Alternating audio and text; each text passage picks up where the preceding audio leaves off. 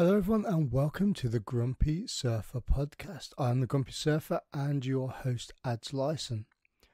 And what a podcast we have for you this week. But before we start, the Billabong Pipe Pro has just started. So we have a Grumpy Surfer WSL app league. So all you need to do is download the WSL app, search for the, the Grumpy Surfer podcast, and get your team sorted out and uh, see if you can beat me. I'm pretty good at these sort of things. I came second last year. So let's see if you guys can do a little bit better than that. So this week's guest, he has spent an entire lifetime pursuing the things he enjoys doing. He started surfing back in the 60s, picked up a sponsor for skiing, and has worked for Salomon, the ski brand, for the past 40 odd years. He's worked with wetsuit brands, producing wetsuits. My guest has traveled the world, skied all over the world, surfed all over the world. And if you have a listen to some of his stories, it's been absolutely epic. So please enjoy my conversation with an absolute true gentleman, Eric Davies.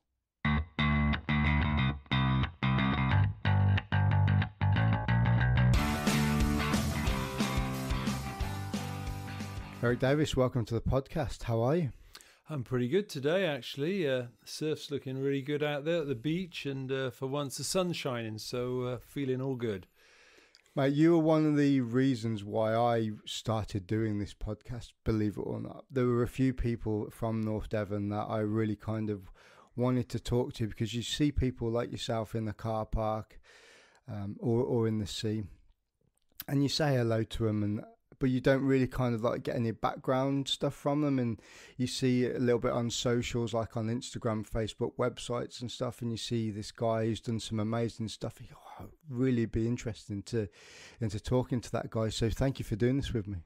Well, it's fine. I feel a bit like a prodigal son to North Devon because um, lifeguarding back in the, the, the 70s and then going away to Scotland and then coming back again in the the sort of 2000s and then going away again. And then here we are back again for the third time and uh, the final time, as far as I'm concerned, because uh, I've done the research and this is the best place to be. Well, you've given me a little bit of a tour around your house, and like we said before, it's a little bit of a TARDIS. You've got this nice little cottage in Knowle, and then you come through the back, and you've got five or six different different rooms with different like skiing and surf memorabilia all over the walls. And to be honest with you, it's pretty epic, epic and uh, quite humbling, to be honest.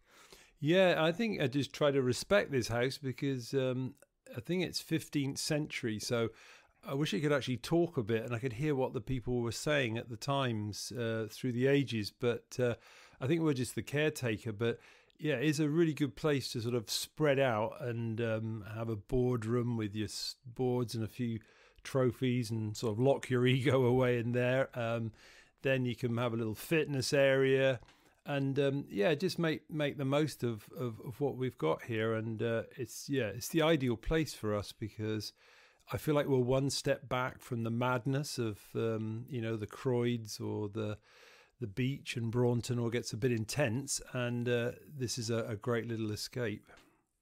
Yeah, I mean, this little village around here, like I said to you before, we've done a couple of podcasts with uh, the likes of Ben Ruth and Scott Ranican. and uh, Ash Broughton's a local guy around, around by Rafton.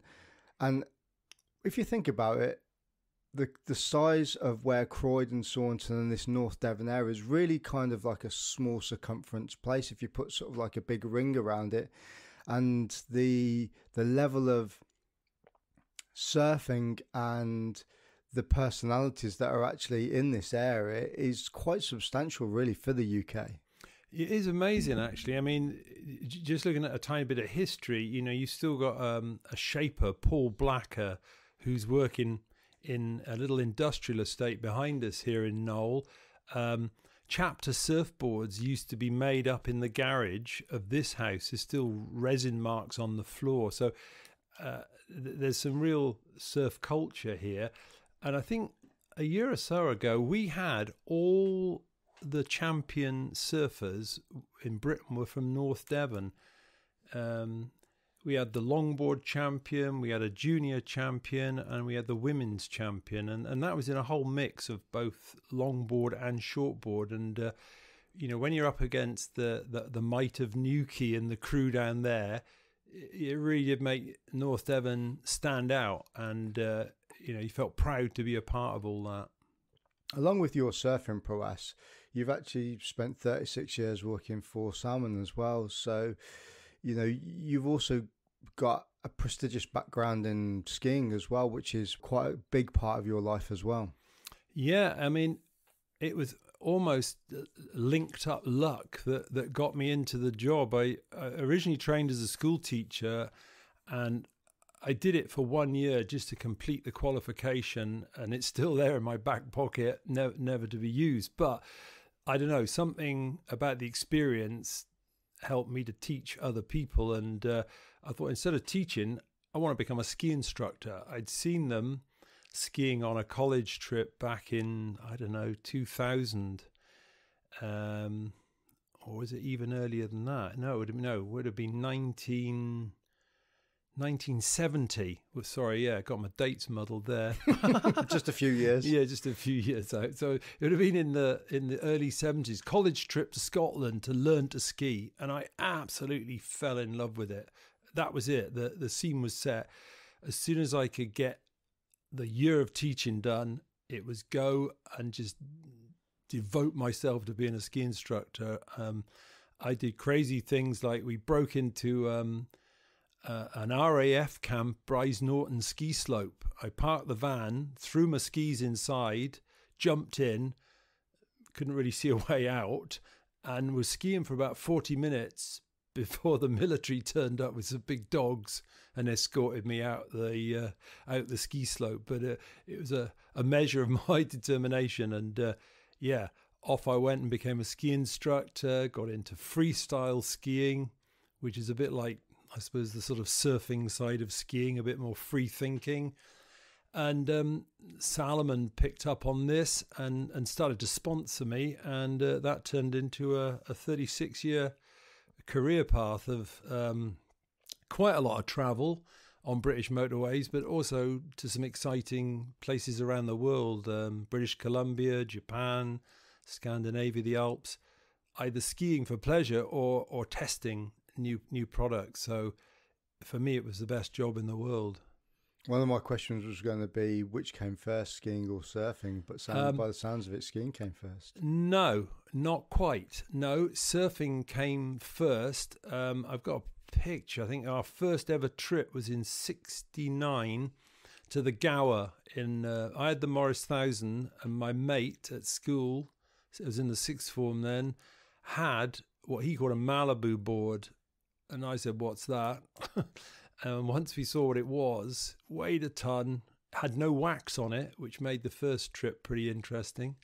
Uh, surfing was much harder with it, with no wax, but a bit like what, what was going to happen to me at college a few years later with skiing. I just thought, this is it. I'm going to spend the rest of my life doing this, and that those two setups or, or situations or incidents set my path for the rest of my life, which was to surf as much as possible and and ski as much as possible. And almost everything else was irrelevant. It was it was a great irresponsible approach to life but it ended up turning out pretty good and uh, and had a great job to go with it. Did you grow up around here or did, were you born and, and raised somewhere else? No no it was mainly bristol that uh, i grew up but again it was in touch with you know getting to the the gower or rest bay for surf. Uh, I like going walking and climbing in the hills, um, you know, whether it was the Mendips or up to Wales. So I don't know, the kind of wanderlust was in me. I didn't want to stick around Bristol. I wanted to get out there and I wanted to do stuff um, to do with either mountains or the sea. Was there a family connection to that? So your mother or your father, but were they were they involved in any of that? No, it's quite strange, really. Nobody else in our family, as far as I can see, had any interest in outdoor pursuits. Um, I'm not going to claim I was a rebel, but I definitely had some different genes to everybody else. Everybody else was sort of doing the straightforward, normal stuff, regular career path. Uh, all I wanted to do was get this qualification in my back pocket and then disappear and do the things I wanted to do. I was just driven, and I still don't quite know why, because I don't know anybody else in our family that's like that. So I'm pleased I had the uh, the black sheep gene, because uh, it's been a hell of a life. It's been great. Yeah, the the surfing side of things w- was kind of sparked an interest with me because we had a little conversation before we started this about uh, one of your nemesises was uh, was Jed Stone, who I did a podcast with uh, with last year, and he um, he expressed and told some stories about you know traveling to Morocco back in like the early seventies and and that sort of thing. And once you started to get into surfing, did you do a similar thing where you just thought there must be other places in Europe around the world that did this and, and went traveling there? Yeah, just to quickly touch on Jed, uh, full of admiration for that guy because every time we were in shortboard contests for the English or British champs, he always beat me, and quite rightly so. And then I find out what his possible not so secret weapon was that he'd spent his entire life skateboarding, and I would say if there's a part of my education missing, it's skateboarding. And he was just so much more maneuverable and flexible. But uh, I think I'd like to uh, challenge him to a longboard contest. But uh, getting back to your point on travel, um, lifeguarding on the beach at Croyde in the, the 70s, you know, people would then start to talk in sort of September time. Well, where's everybody going for the winter? And uh, obviously, I could see the skiing side for me in Scotland was an option, maybe from January. But to fill the time between September and January, people were talking about going to Barbados, talking about going to Morocco. It, it was really just working out what you could afford. And uh, it boiled down to three of us piling into my old split screen van in 75 and we headed off uh, overloaded by a ton of food and boards and stuff. And we we set off for Morocco as it got colder. We worked our way down through France, Spain, into Portugal, and then finally into uh, Morocco for, for mid mid December. And uh, it was so funny because you just met half the people you just left behind in North Devon, uh, like minded, uh, all camping down there at Anchor Point. What's a couple of your most memorable stories, surfing stories from from that era? Because there must have been some escapades that went on around that time. Um, I think one of the things was um, waking up to the reality of your own security. Um, a couple of incidents happened around about us that weren't surf related, but they were life related. Where to the people around in these countries, we had a lot and they had very little. And uh, I guess they thought they might sort of share some of our stuff. So one night, one of the guys got out to go for a pee.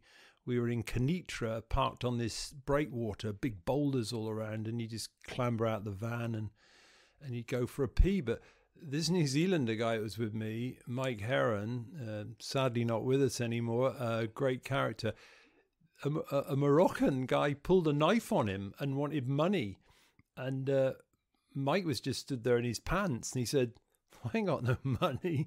You know, get away from me." And uh, in his confident New Zealand way, he he sort of got got away from the guy with the knife. So after that, we all took it in turns to sleep on the outside of the the van, the outside part in the bed. So it's three blokes in one bed, fun. And uh, the the benefit of sleep on the outside there was a bit more space but but you had the bread knife. Now that was your arms to keep away anybody that was trying to attack us.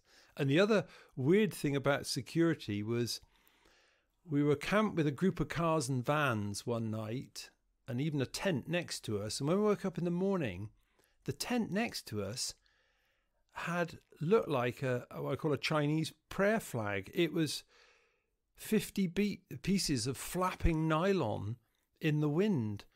And the the thieves had come in the night with very sharp knives, razored the tent within inches of the the, the, the, the people camping in the tents' faces, stolen passports and money, but nobody woke. And even more bizarre, next to that was um, a Triumph Herald car um, with a dog in it. And the thieves managed to take the rubber strip off the window, um, get the glass out in one piece, skilled operators clearly, stole money and passports, and they gave the dog some meat laced with, with cannabis, I think, because the dog was as cool and calm as anything and was as a useless guard dog. So we just sharpened up our um, our security a bit and just awareness and uh, you know nothing to do with surfing. I mean, surf story wise, I think um, the one that sticks out in my mind is um, bumped into this guy who was ex European surf champion and again one of my great competitors in masters contests longboarding was um, Keith Beddoes, real character from Newquay, and um, he was saying, "Oh, you know, anchor point, you know, that's that's weak and feeble, and these beach breaks, these reef breaks, we're we're all going out at killers." And I just the name of it put me off, um, but it was the next bay, Killer Point or Killer Bay because killer whales sometimes go in there. Uh, if that wasn't enough already to start to scare me, that the waves were definitely bigger and beefier. And where the waves went in was just big sea caves. So the white water washed right into these caves. And I just thought, I don't know if I'm up for this. Anyway, they persuaded me to go. And um, another guy was with them. I think his name was Mick. And he was a bouncer in Newquay, big, solid guy and he put us all at ease because he went over the falls on his first wave, complete wipeout, washed in a bit, managed to paddle back out, and he was just laughing. And uh, that just put my, my ease. And uh, I really enjoyed the session then. So I went from extreme fear of killer whales getting washed into caves and not coming back to actually having an absolute blast. And uh, thanks to those guys for dragging me in there and uh, and also putting me at my ease. It's quite funny, really, because you talk about surf travel. I've been to Morocco a couple of times now, and you were talking about traveling there, you know, back in back in the seventies, and but people are still traveling to Killers, Anchor Point, mm. you know, mm. that Taghazout area. Mm. People are still traveling there now. So back then, that you you know you didn't have these wave storm guides, or you didn't have magic seaweed and all oh. this sort of thing. So where where did the where did the idea of going down to that area instead of going to some other places like around? How, how did you get to be told about that place? I think it was uh, croyde was a bit of a magnet for for surfers. There used to be the thing where the aussies used to arrive in london and go to australia house and when you could park in london anywhere Australia House, I think, was surrounded by VWs that were either for sale or going to be for sale.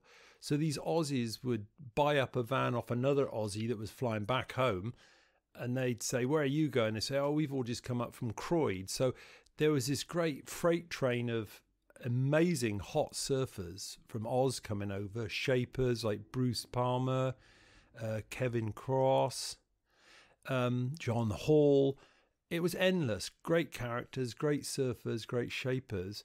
And they were obviously around Europe for the whole year or two. And they'd all start talking about, oh, we're going to Biarritz, we're going to Morocco.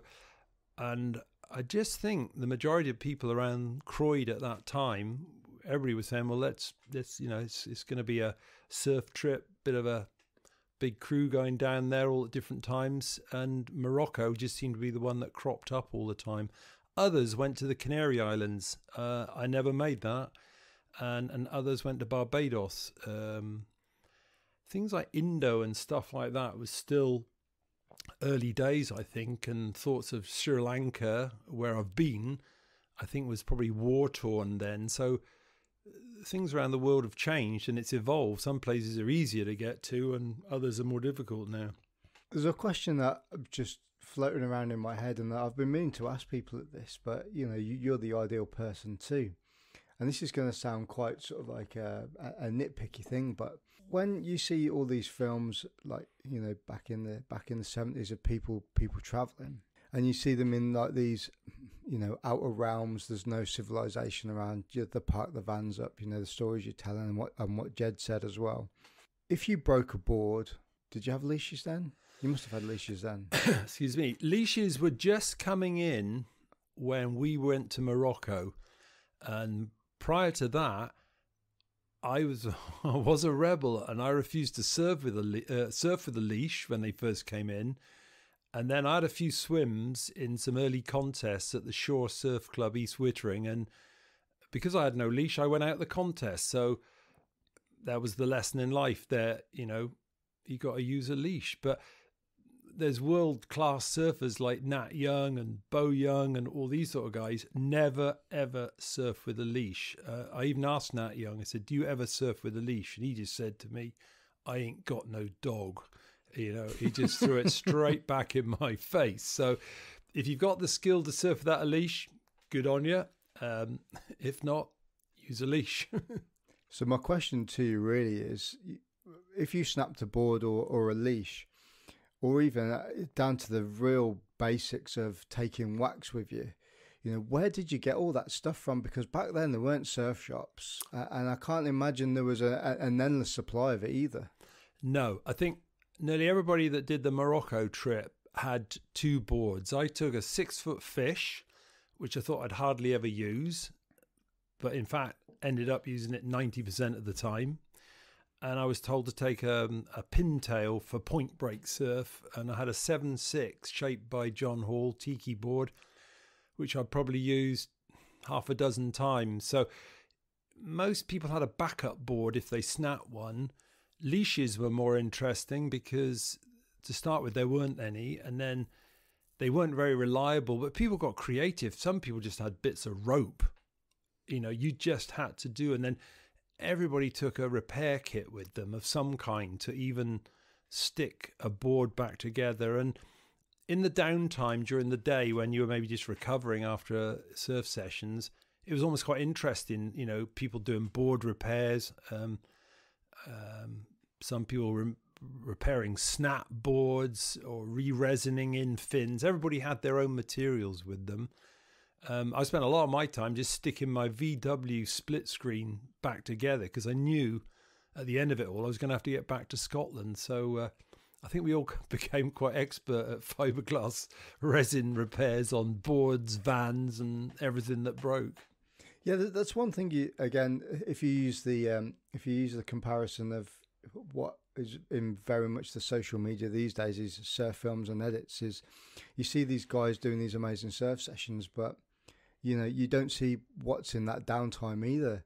And you know, I've been on plenty of surf trips, you know, over the 26 years I've been surfing, and and it's kind of like oh, go and get something to eat, or you just sat down on the beach like chilling out, or you know, you find something on the beach, whether it's a barrel or something like that. You run up and down the sand dunes, rolling down with that, or you know, whatever. There's there's some shenanigans that you get up to, right, when you're uh, when you're not doing much, when you're waiting.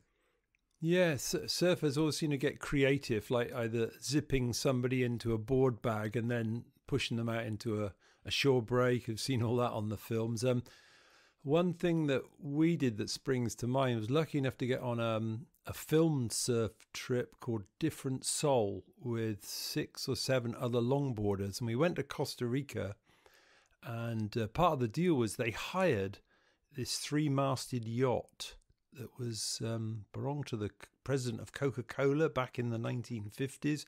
It was a classic old ship. So we anchored off Ollie's Point right up on the Nicaraguan border, and the waves were just perfect. Right handers peeling every day, throw the boards over, and then just paddle into the lineup because we were already outside. But in one of the downtimes, we thought we'd seen alligators or crocodiles just as we'd finished the ride, and there were lagoons up behind um, the beach there. So we thought it'd be fun to go and look for crocodiles.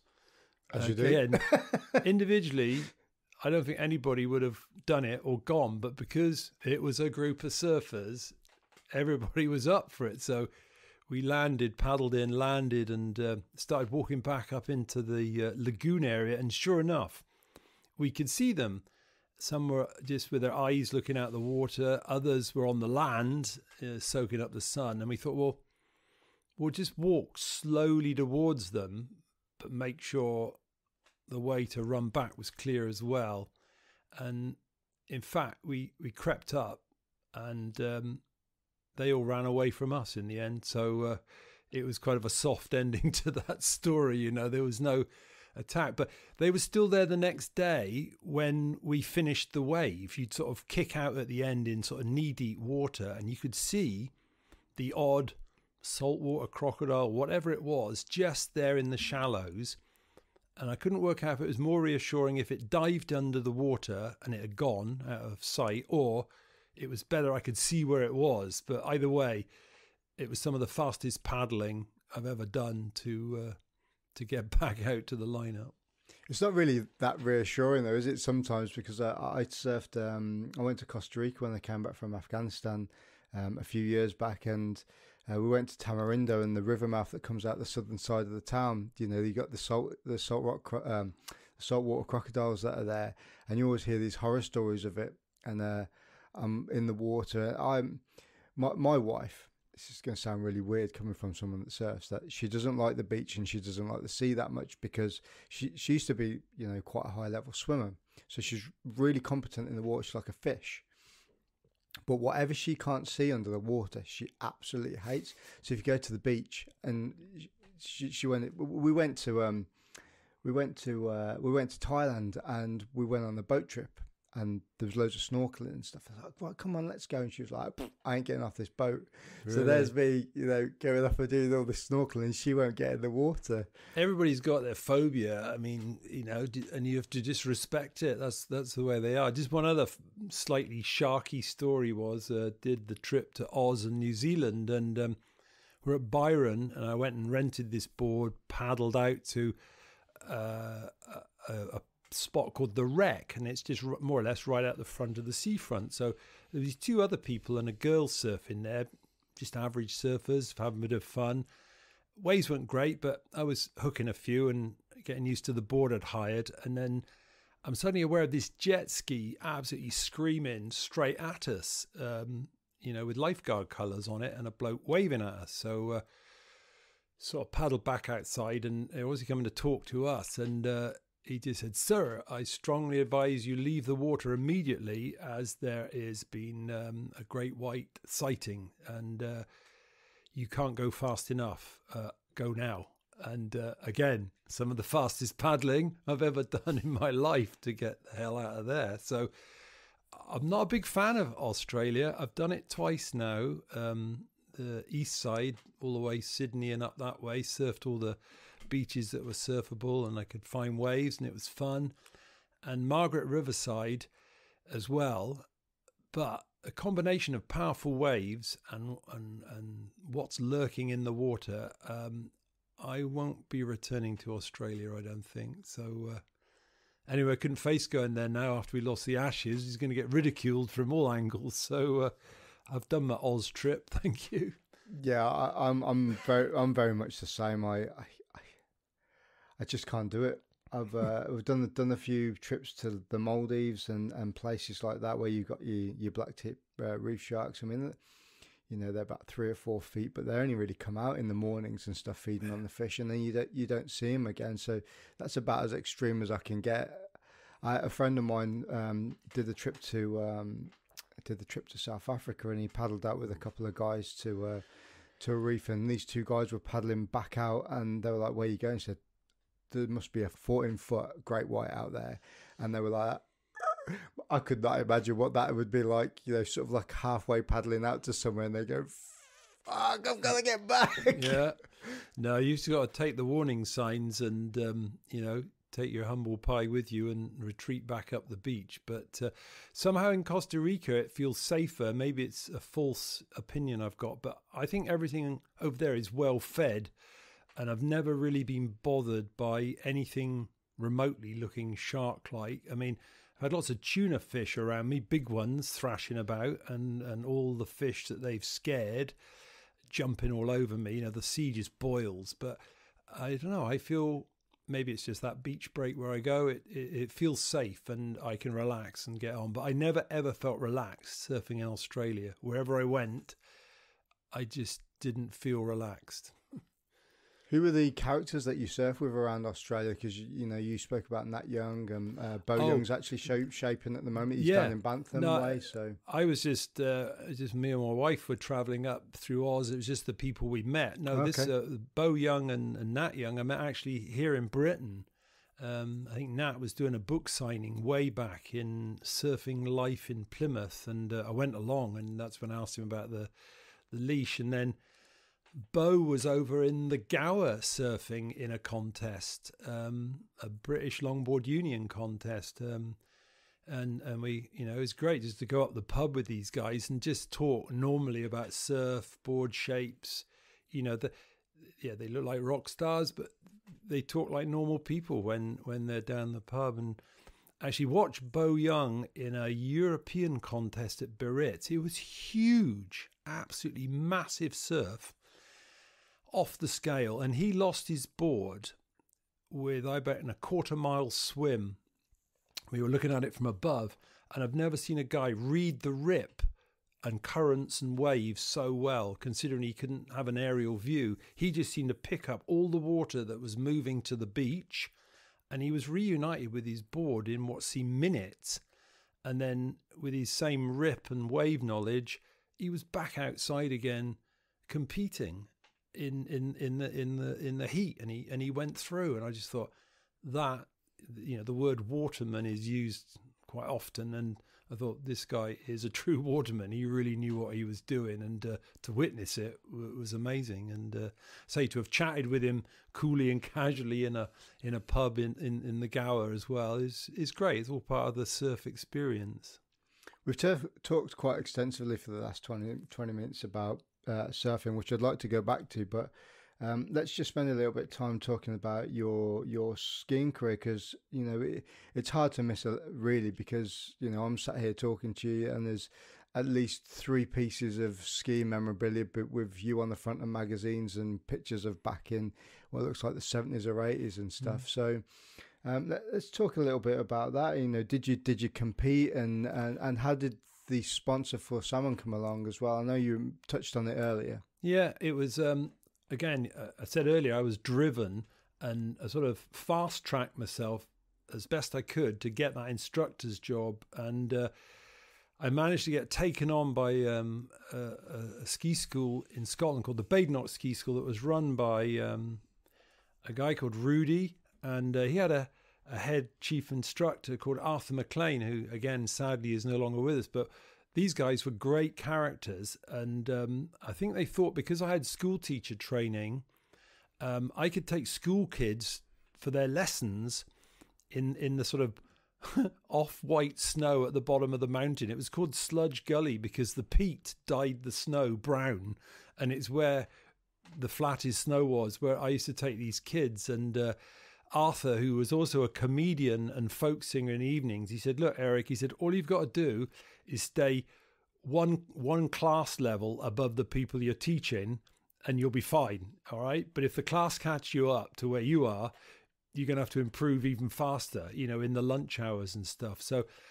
I was just so stoked to get a start. I was paid pennies uh, to teach kids to ski on brown snow, and uh, you couldn't get a more humble beginning, but I just loved every minute. And um, you know, you'd walk down into the the resort of Aviemore wearing a ski instructor's jacket, and you thought, I think I've gone to heaven here because life was pretty easy. you know, the chat up lines were easy. You always got a beer at the bar, and uh, it, it, was life was good, even even being the the king of Sludge Gully. Um, and then I just started to practice some freestyle that I saw people doing on the slopes, which is more like ski ballet, doing jumps, um, skiing in a slightly wild and uh, sort of freer way, and not the discipline of racing. And then a contest was coming up, and, and I entered it. And I'd only been skiing for about six weeks, but I thought, well, if I launch off the jump and do some kind of aerial maneuver, and I can try and land it, I'll get some points and I practiced the the ski ballet, which does sound a bit dodgy, but to be honest, you had to do three disciplines if you even wanted to compete. So you had to do moguls, which is skiing the bumps in a wild style with airs and jumps. You had to do aerials off a big jump, uh, and you had to do the ballet. So it wasn't, oh, I'll just do this and I'll just do that. You did the lot, but I practiced and practiced, got better and better. And then Salomon said, We'd like to sponsor you with some bindings, some gloves, some bags, and, and stuff. And uh, can you show movies um, on a Wednesday night in the pub here? They said, There's a, a huge banner here that says Salomon Film Festival. You just put that up and you run your 16 millimeter movie projector in the pub. And in those days, smoking was big style. So the, the room was full of smoke. And there was this beam of light trying to find the screen at the other end of the room through the smoke. And um, there were some great movies on there of early snowboarding with a guy called Ted Shred who used to overtake skiers, which was uh, good to watch, and huge aerial jumps in. Um, British Columbia off these big wind ridges of snow. And uh, yeah, the pub was full of noise and excited skiers. And uh, then eventually Salomon said, Can you come to a trade show and talk? And um, and from that, then they said, Do you want to be a part time promoter? Do you want to be a salesman? And 36 years later, traveled the world, skied in every decent ski place there is, carried on competing doing the Colgate Palmolive freestyle series. And here's a spooky one.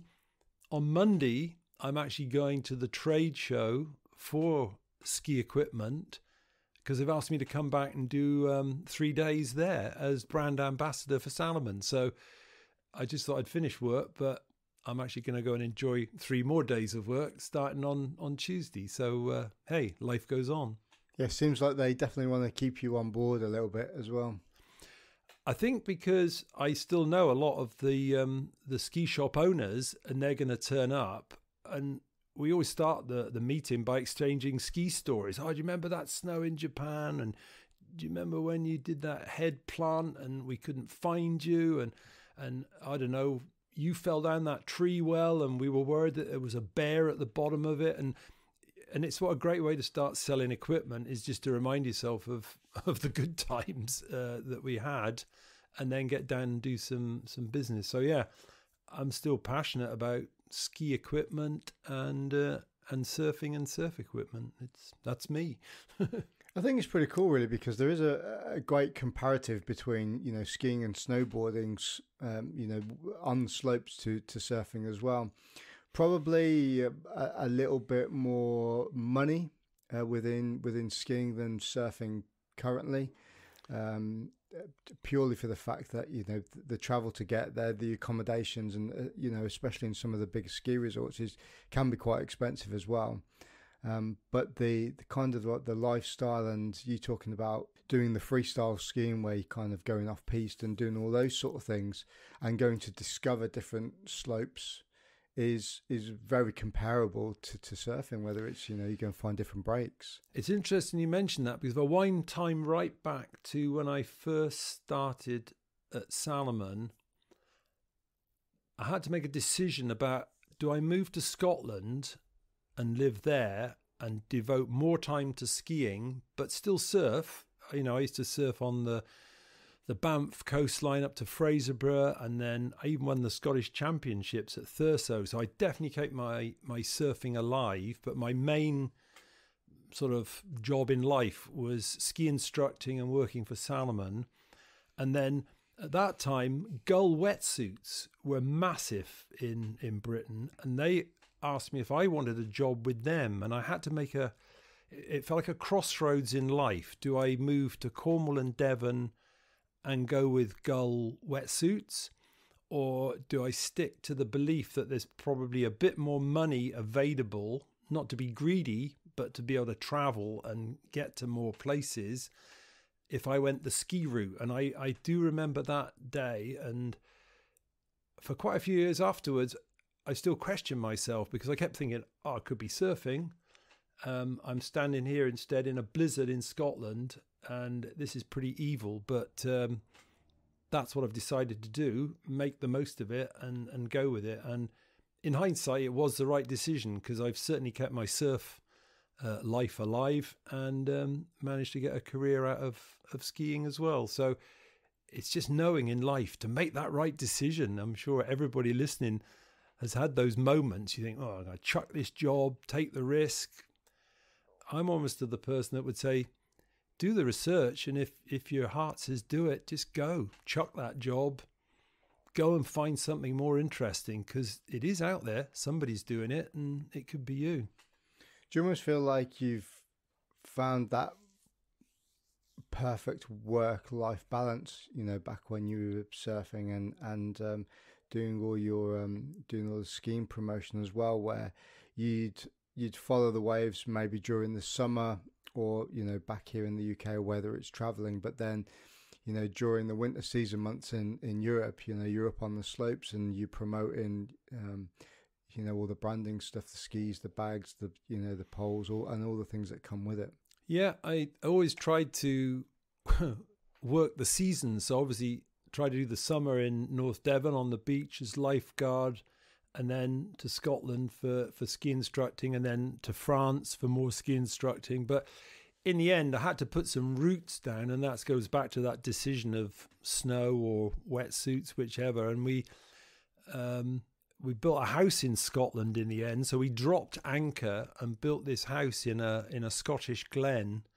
And um, luckily, my wife Annie, who's super tolerant, helped build it with friends and tradesmen that were around and uh, lots of hard labour. And, and, in fact, we produced twin boys up there. They were born in Inverness Hospital. So we, we felt like we were a bit on the frontier in this Scottish glen because it threw some wild weather at us. But um, yeah, in between family, making enough money to live, still seem to manage to get up to the coast to surf when I could.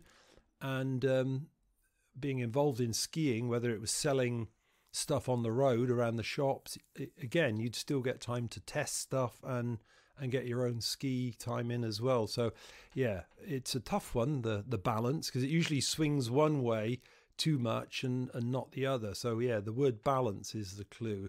You rarely get it exactly right. It, it that's that's the dream. keep the dream alive and keep balancing. How did you find that over the years with you know the um, you you bringing up two twin boys, you've got your wife, yeah, the, the house, and obviously she's got the things that you know she likes doing. She's got her job, and um, it, it's it's something interesting that that I always think about because you know it is quite a selfish thing that you know we endeavour to do. Surfing's a very individual thing, um, whether it's doing it on your own or, or whether you're doing it with friends potentially skiing is as well because you know at the end of the day you've got two planks on your feet or a snowboard and um, you know you're on the slopes on, on, your own. Trying to trying to balance that when there's a good swell coming through you know we're talking about that now you know I'm I'm in the last couple of days of of of being in the military and trying to balance all that and you know my wife lives what 62 miles away but yet I'm here in North Devon and I'm you know doing a couple of things at work to tie things up and I, I find sometimes it's it's not difficult, but I'm almost kind of like being necky because I want to do things that that I that that I enjoying, but you almost kind of like, am I seeing those people off too? You know what I mean? No, I know exactly what I mean. In fact, I think surfers are probably the most selfish people in the entire world, and I include myself in that.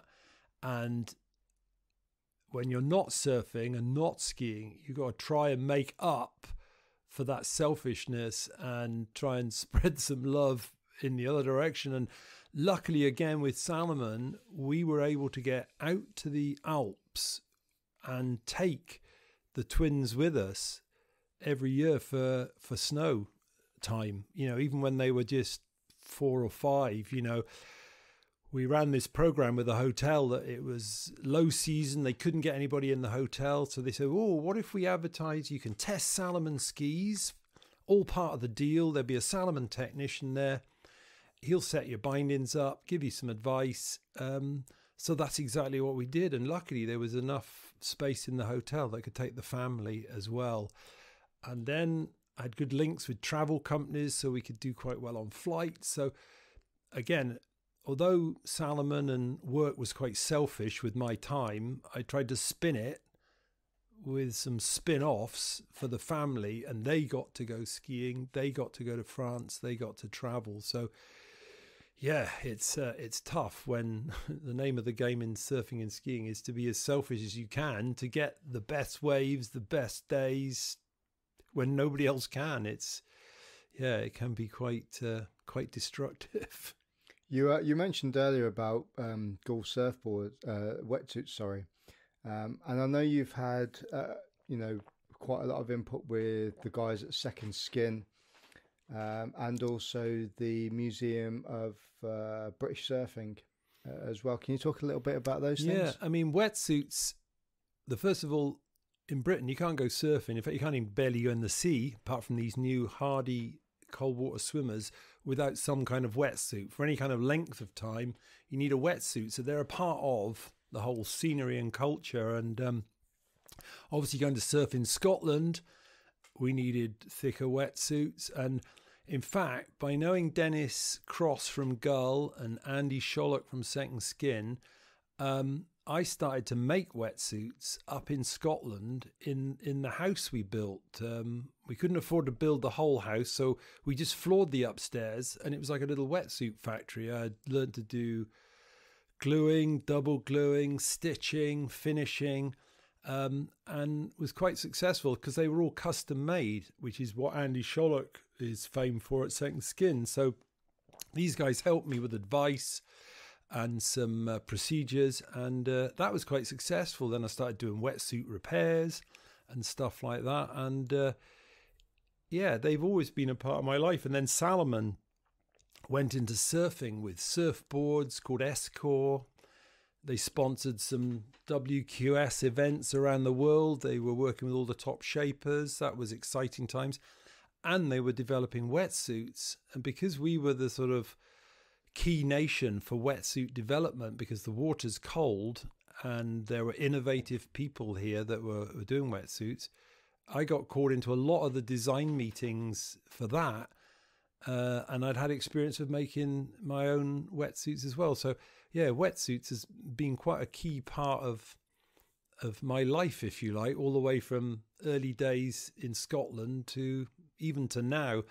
I'm blessed that Xcel wetsuits helped me out very nicely with uh, with their suits, which right here, right now, I think are the best there are. They've they've nailed it with the stretchiest neoprene that you can buy from Japan, and my old aging body fully appreciates that because I reckon I gain an extra half hour out there to annoy people and catch waves when I think a lot of other wetsuits. You, you, you, in fact, it's like going to a gym wearing some people's wetsuits. You're not going surfing, you're going to a gym. But enough of that. I forgot what the question was. I just rambled off there about the wetsuit vein that runs through my my life. No, I mean you kind of leaded on to a little bit about you know uh, what I wanted to come on to. Really is um, so don't take this the wrong way. No, um, I met you quite a few years ago, and I say I met you. I first came across you when I was surfing at Saunton. Oh, I was probably rude, and you shouted at me. and I, and and and I, I always tell this people uh, tell this story. So I'm like, Does, do you know that Eric Davies? He's like, yes. He just like shouts at you if you don't get out of his way. So what what happened was I was on uh, I was on an old old school um, Custard Point log and you taken off. Uh, it was mid tide uh, yeah. at Saunton. Cave time. Yeah, sort of cave thing, time. Yeah. And uh, you taken off, and I was paddling back out, but I thought I was further enough out the way not to get into people's way. And you took off. You did a bottom turn and just turned and came down the way. I couldn't hear what you were saying because I had like earplugs in, and all I could see is your mouth moving. It just sounded like "Get out of the way! Get out of the way!" I paddle back out to the pack, and you come back out through the rip, and you just sat there. And this is where I thought it was quite funny. He said, That young lad back there on the red board didn't get out my way. And I was like, That. He said I was young. I think I was about 36 at the time. I was like, I've never been called young in my life. It was amazing. So, my question really is um, you're quite a controversial character sometimes in the water. Um, but I think it's because you've got a very sort of like old school mentality.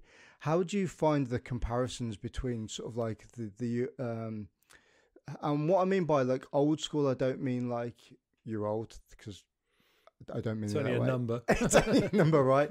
I mean kind of um you know, there used to be back in the day when people weren't surfing. You know, you earned your, you know, you earned your waves in the lineup. Um, you know, if if you were new to surfing, you kind of sat back down the point or the lineup a little bit and caught those waves, the scraps of everybody else, and everybody else who's like earned their place. You know, is it is in the main place. How do you find the comparison now from sort of like the mentality that you've grown up with to to what it is today? I think that's true to a point where people are, are respected in the lineup. I think that's kind of gone into the past now, and I think with the modern outlook is everybody is now equal.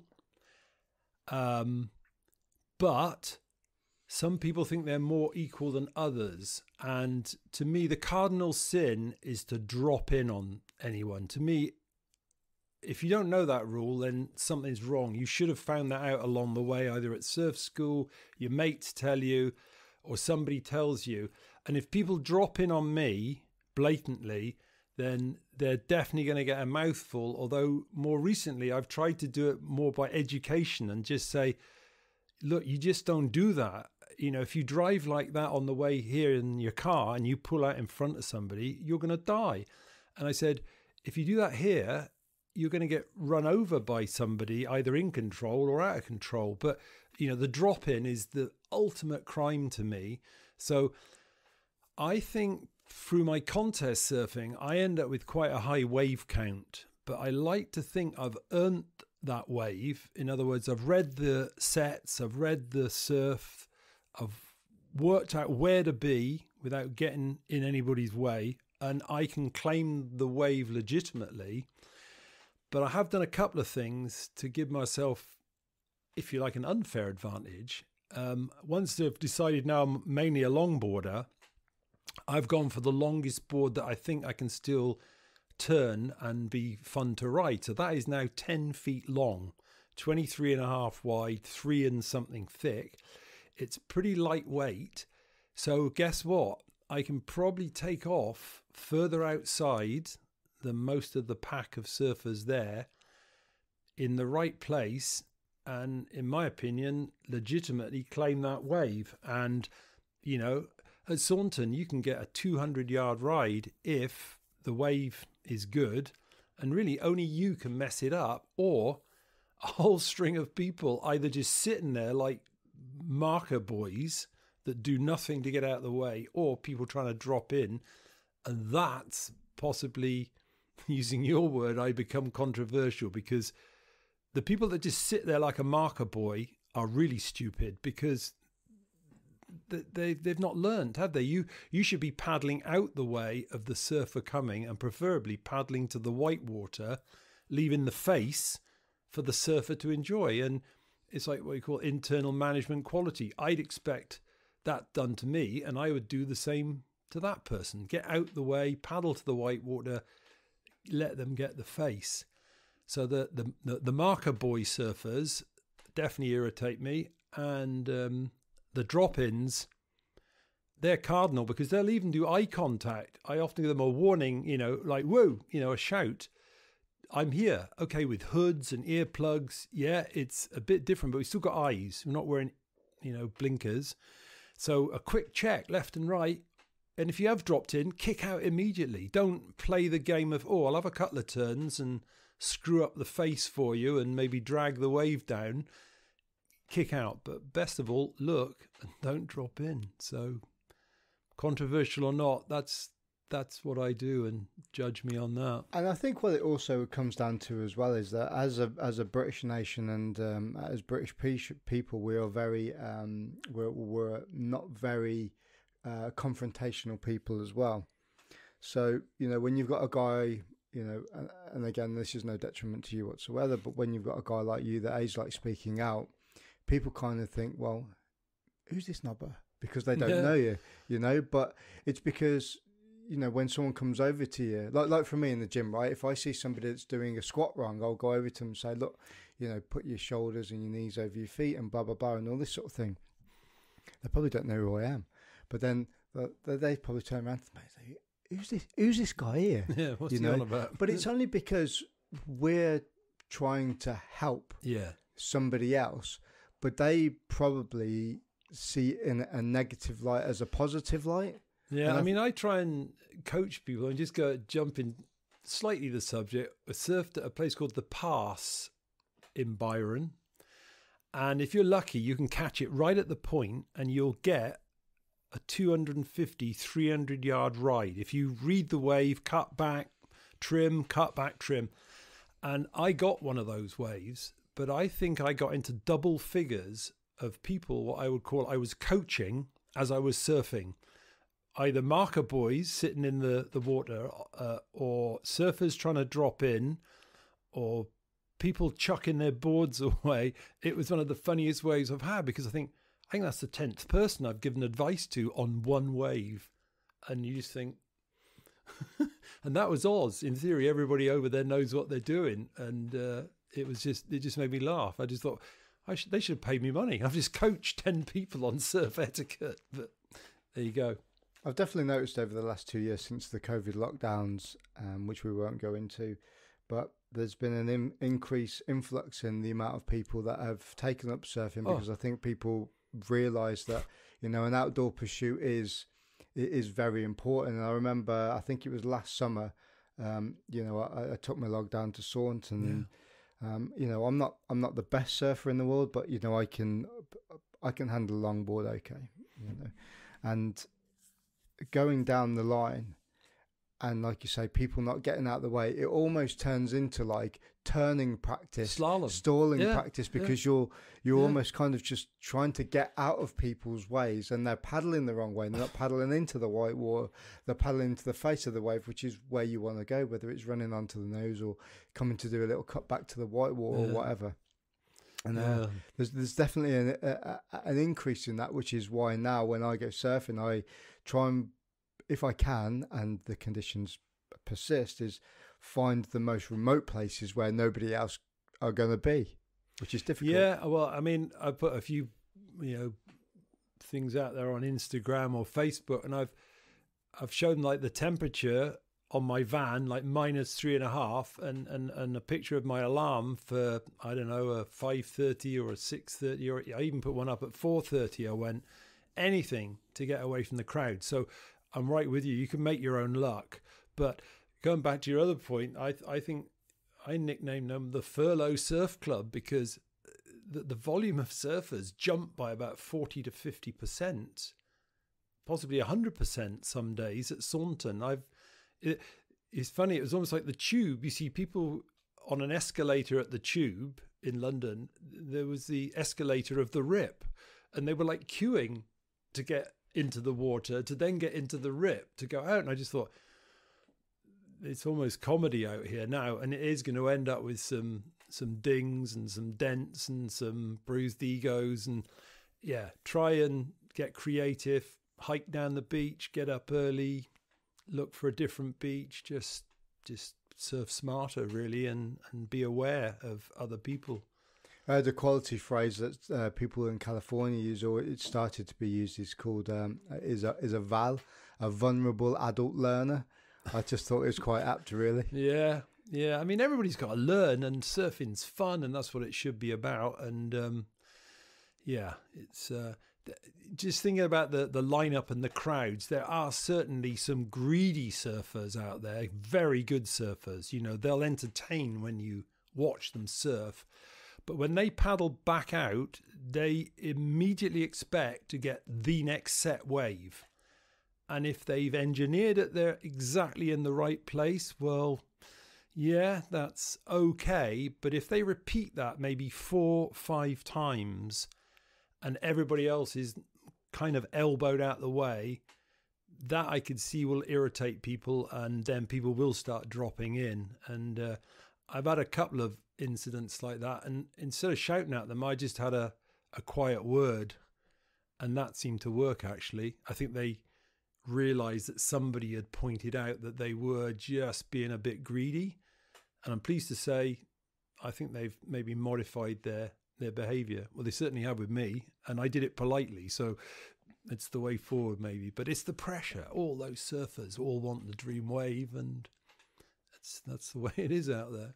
You say that I went out and did some surf coaching out in Guam with um, with one of the Navy carrier groups uh, in September, and we paddled out to this. Um, me and my mate paddled out to this uh, out to this local break, and uh, as soon as we got there, this local guy was like, "Are you respectful? Are you respectful? Do you know what you're doing?" And, and like me, me and Andy were looking at each other, going, "What?" And I was, I was kind of like, we haven't even caught a wave yet. We're literally just paddled across the channel. And you're getting lectured. And we're getting loads of grief off a guy that actually wasn't particularly that good either. No. He's like on he had like a, a, mantra. Mm. Yeah, and I was just like, oh man, this is this just this just sucks. It, and it kind of just it ruined the first twenty minutes a little bit because we thought this is going to be super aggro, and and it really wasn't. And um, I, I would caught a wave and I kicked out, and there was this bodyboarder guy there, and he was super super nice, local, and um, he basically said that there was a British guy who rented a surfboard from uh, from the local shop, and uh, had just come out and basically was just taking off on everything. Mm. So he'd kind of obviously you know, we weren't locals. He just kind of set the precedent for us, and we come out and just bought the brunt of it. I was like that. What a twat! it's funny you should say that because again, just a memory shot into my brain there. If we went to Santa Cruz surfing, home of O'Neill wetsuits, and we'd scammed it because it was two days before we were going skiing up in um, in uh, Heavenly Valley, and uh, we went to this place called Pleasure Point, which is just up the road from Steamer Lane, and when you paddled out, you could suddenly read this gigantic sign across the sea wall. Um, that if you don't live here, don't surf here. And this is in six foot high writing. And we went, oh, righto. so that's interesting. And um, there weren't many in. There was probably about 10 in. And we were all spaced out because it was like a nice point break running through the kelp there. And then this um, slightly Chinese oriental looking guy, every time I paddled for a wave, he paddled inside of me to drop in on me. So we were like dropping in in unison. And I thought, well, once is funny, you know, okay, so let him go. Then next time I get back out, he's there again and he does the same thing again. So I thought, well, I'm reading the sign on the, the wall and I'm looking at this guy. I think, well, don't upset anybody, but I'm not breaking any rules. So in the end, I just steered my board to edge him up onto the shoulder of the wave, but left myself enough time to still re enter the face and, and finish the wave. And he must have done this three or four times, just kept doing it until he got fed up with me edging him up the wave. But I don't get localism like that because if he's a pure local and he sprayed that paint on the wall, in theory, he can never ever surf at another beach.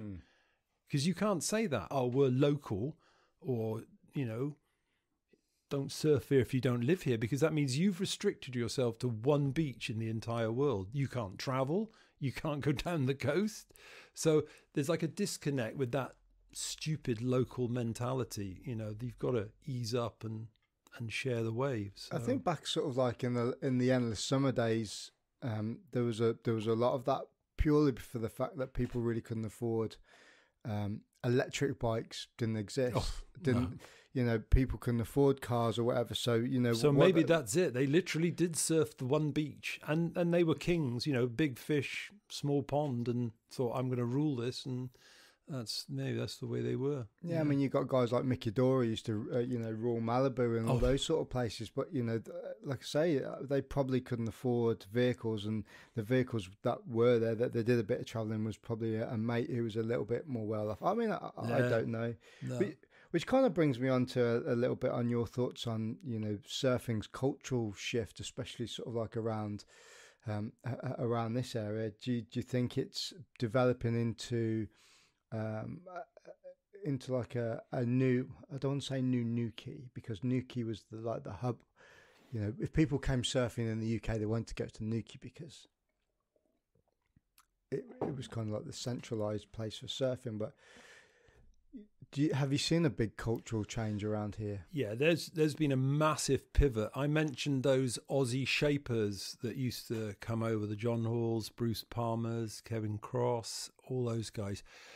In the 70s, the majority of boards sold were made around here. And then if they weren't from around here, they'd come up from Cornwall, from from the you know the Bilbos and places like that, or they came from Swansea. You know, a guy called Dave Fryer had a shop, but I'm pretty certain, you know, and tiki was a massive part of that. So I think in those days, the majority of the market was boards made in Britain, but often with Aussie influence, which was great because they'd come and, and brought that with them. Whereas if you do a snapshot of now and say how many shapers are in this valley or this little area now, we've mentioned Paul Blacker here over the road, a Jules at Gulfstream in in Woolacombe, and then a few smaller shapers dotted around. There was uh, Ellie Miller, the only woman shaper, glasser, finisher. Um, she's now stopped doing that for health reasons.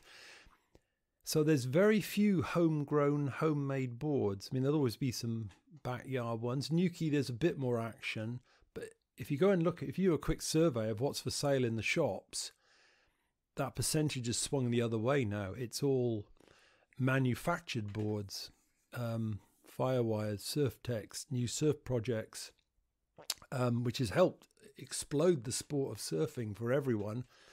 So yeah, it's it's changed. The culture has changed. The good thing is things like the Museum of British Surfing and now the Guardians and have captured a lot of these older boards and stories and information. Um, and it's there for everybody to see. I mean, I was um, part of their setup for quite a while and managed to do their wetsuit story for them. Very right from the very first beaver tail wetsuits with yellow tape all the way through to you know the the latest technology suits now. So luckily the heritage is safe with um, the guys at the Museum of British Surfing, and uh, you can go and check it out.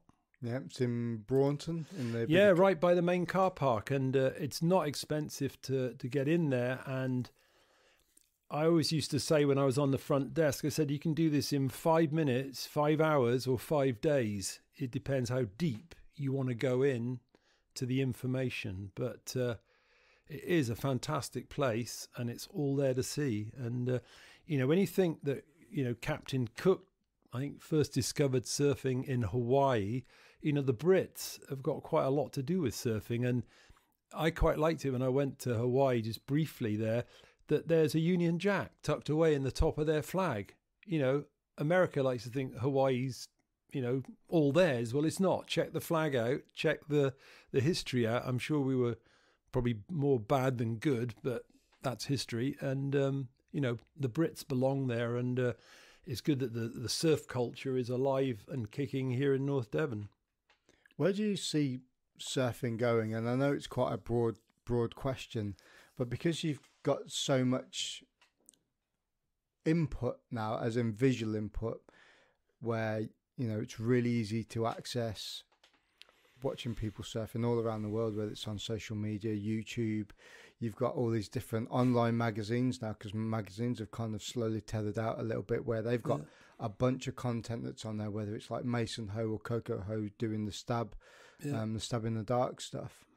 Um, do you do you feel that that's a good influence on it, or is it just opening like Pandora's box where there is just so many different options that it's quite confusing for people as well? I think surfing is always about freedom and expression of your thoughts, expression of your movement. I think keep surfing as free as it wants to be and don't worry about constraints because people will either vote with their feet or their viewing figures and you know if if if something on there gives somebody pleasure and it stimulates them to get up and go surfing and or try a new trick you go i can't believe what that person has just done that air or that carve turn or whatever.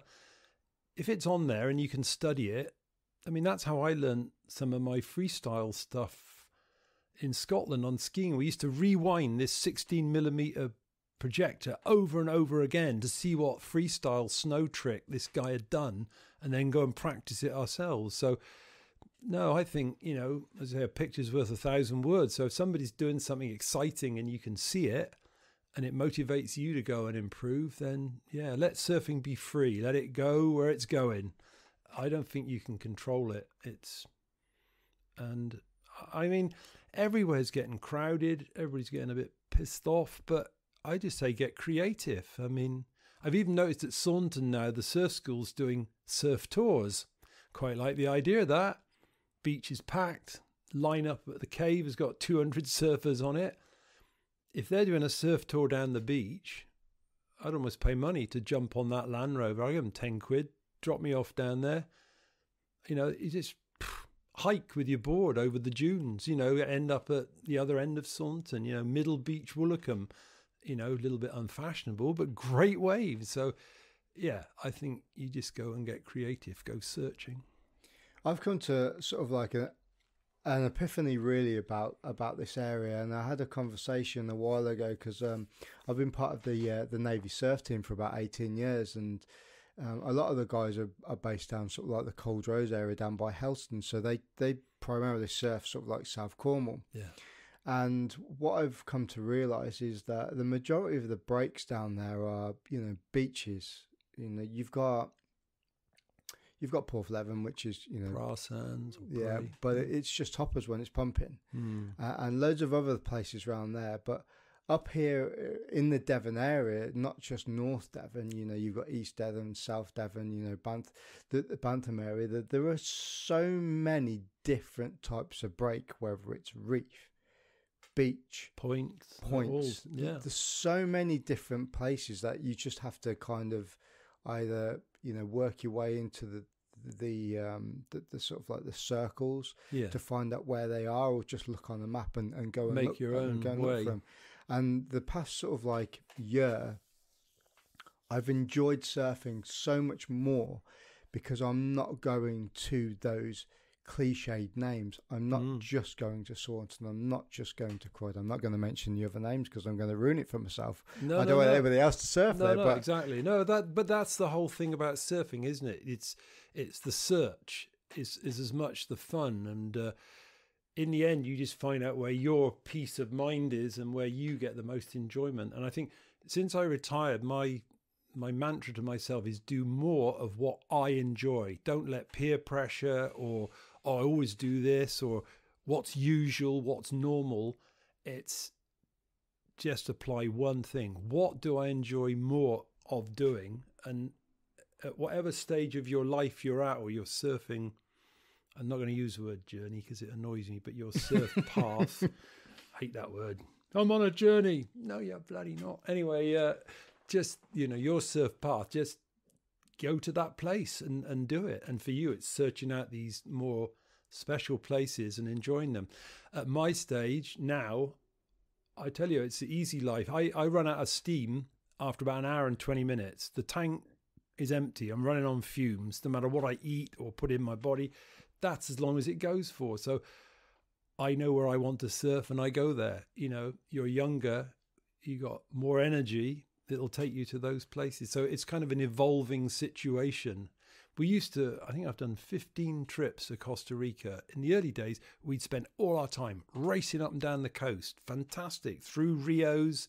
It looked like something out of Top Gear, you know, jungles, monkeys, beaches with nobody on them.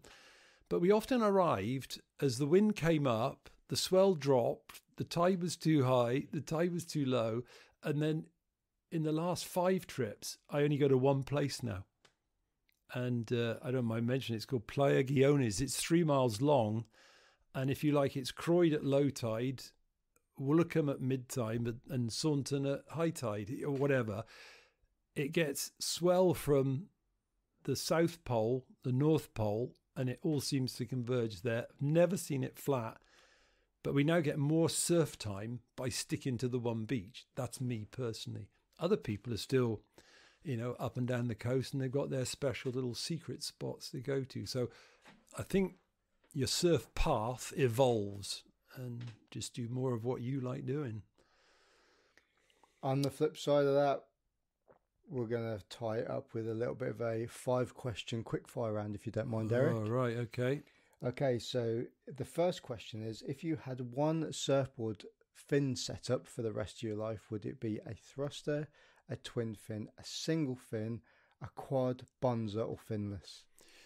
It's two plus one. I was going to say two plus one, but that's kind of cheating. Well, there's a thruster then. okay. But but it's not. I mean, I've got a thruster on my shortboard, and all my long boards are two plus one. okay. And I think it's coming from my skiing and snowboarding background. I like to carve a turn. I love hard rails. I love the bite of the fins and the feeling of carving on a snowboard, a pair of skis, and I try and do what I call quality bottom turns. It's in my and it's spooky that the the leading surf magazine is called Carve. To me, a carve turn, forehand and backhand, that marks a good surfer. Look at their bottom turn, backhand and forehand. Sorry, that's a long answer. Well, that sets up for everything else, doesn't it? If you can't do that, then uh, yeah, exactly. Where are you going? just wiggling. Straight handers and wiggle or Just bounce. wiggles, yeah. Lots of body movement and Yeah, poo stances. surfboards still going in a straight line. Yeah. Your favourite surfer and why? It's Slater. Love him or hate him. Um, I often have quite a debate with my uh, friend Christian Dormer, who uh, helps me out with my vitamin pills and has turned into a good surf buddy. Uh, he's a Machado fan. I mean, I suppose I'm more of a hippie in in a way. It should be Machado, but for some reason, I just think Slater has done amazing things. So bit of a cop out. Should be Machado, but I'm going Slater. Both different styles. Exactly. Both right out there. World class. Best and worst person to share a lineup with. Um, best person. Has it got to be one? You can say people if you Yeah. I mean, the best setup is when the Saunton Cave is on and there's four or five of us out there and everybody is just getting on and enjoying their surfing and not trying to nickel and dime waves off each other. It's when that there's sometimes just a magic blend and it can be a mixture of people, very good surfers, average surfers, men, women, juniors. But sometimes you just, you know, they appreciate the wave you're on, you appreciate the wave they're on. There's no hassling. It's all about the fun of going surfing. It's that. That's the magic moment. So, like minded, mellow, surfing's fun type mindset people. That's, I know it's a bit of a cop out and a fudgy answer, but it's what you just dream of having great surf with a good bunch of people and nobody nickel and diming you and trying to jibe you. And then worst is the people I've mentioned before, the marker boys and the drop ins. No words for them. Your favourite shaper and why? Right, that's dead easy because his name is Chops Lascelles, and sadly he's no longer with us. He and I used to get on really well, and he shaped all my longboards. I've still got that Jimi Hendrix one that you saw, that was by him, and that was pre shaping machines. The poor guy ended up with arthritic shoulders, elbow, wrist because all the blanks he hand sawed, all the planing, and um, he was just the most fantastic person to go and meet because you didn't know what chops you were going to meet. You didn't know if you're going to meet Mr. Mellow, Mr. Revolutionary, or we're not shaping, we're going surfing. You never know what Mr. Chops you were going to meet. But his attention to detail for me was brilliant. You know, I used to like a certain rocker line in my boards, and I didn't like a big rocker at the front because it kind of ploughed water, but I liked a what I call a flick in the final six inches. Because if you're trying to nose ride, it just gave you that little warning that you're not right on the board and it would start spewing spray, and that was the warning to readjust and lock into the nose ride. And he'd get this thing called a rocker machine out. I don't know if you know what it is. It's a big, long, bendy bit of metal, and it's got plungers. And you plunge the plunger down to pick up the rocker line of the board Okay. and then you transfer that to the blank that you're shaping so you can almost copy the rocker line that you had on the original board. Now, all of that has been superseded by shaping machines and the CAD CAM, where it's amazing. He'll go now. His son Marcus Lascelles has got all that because Chop set it up down at Beach Beat, where he said, "Well, with your rocker line, I'm going to now look for the blank that best matches that, and then I'll fine tune it on the on the shaping machine." So the attention to detail that Chops did manually has now been mirrored by the shaping machine with with his son um, Marcus Lascelles. So yeah, that he is my number one shaper, and in fact, he came to me with Margaret River when we went over to with the Salomon surf concept, and um, we had a bit of fun. We we ended up going to a vineyard tour with Greg Webber, the other shaper, who he's definitely different. He's I don't know if he's Salvador Dali or whatever he is, or, or, or the guy who chopped his ear off. He he was definitely a creator, and he was delivering fifty boards to oh, one of the pro riders that was in the contest. I thought, how do you get delivered fifty boards? And, where, and what did you do with them? Oh no, I saw what he did with them. I, I am trying to recollect his name. His name's gone. His father was Dale. But anyway, red hot surfer. Anyway, we saw what happened. He went round to this point break near where we were staying at Margaret River, and he had two boards under this arm and one under this arm, and it was a really shallow reef break that shot out into a bit of sand. And obviously, it was a full in barrel. You know, you're in the barrel or you're in the rocks. It was that choice. It was that close. He came back with six bits. Three boards became six. That was one practice session. And that's why Greg Webber was delivering 60. But anyway, I got a picture of me and him and Chops tasting wine in Western Oz. And uh, yeah, good happy memories with Chops. Miss the fella. Uh, if you had one wave to surf for the rest of your life, where would that be?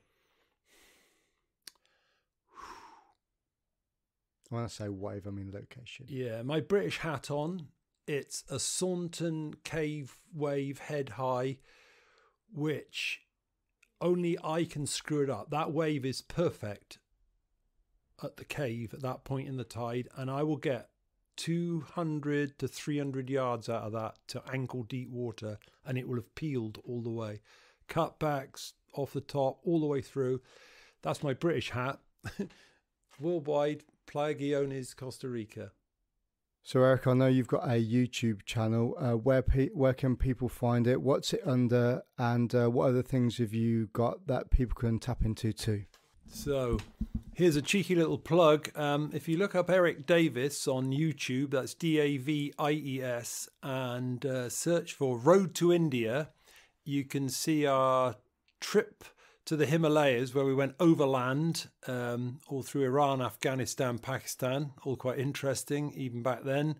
All filmed on a clockwork camera. So, in this world of Bluetooth, it's uh, quite interesting to have dragged that up there. And we climbed a mountain, um, 6,000 meters. Uh, if you want to see a shortened version of that, because uh, that one's uh, 20 minutes, you can see a five minute version if you look up Peacemaker by Jack Bessent, um, he's used my film uh, to his excellent music.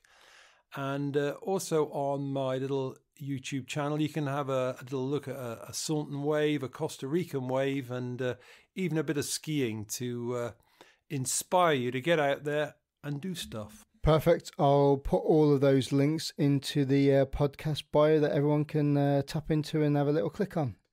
Eric Davies, thank you so much for spinning some stories today, and I've appreciated them, mate. Thank you very much.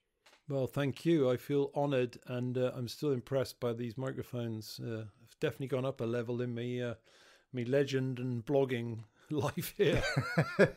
Thanks, mate. Cheers. And that's it. If you like the podcast, please like, share, and subscribe on your podcast provider, and also leave a little review on Apple Podcasts. Next week's podcast will be with a former Royal Marine and film producer and director, Emil Geeson. So tune in for that one. Thanks for listening.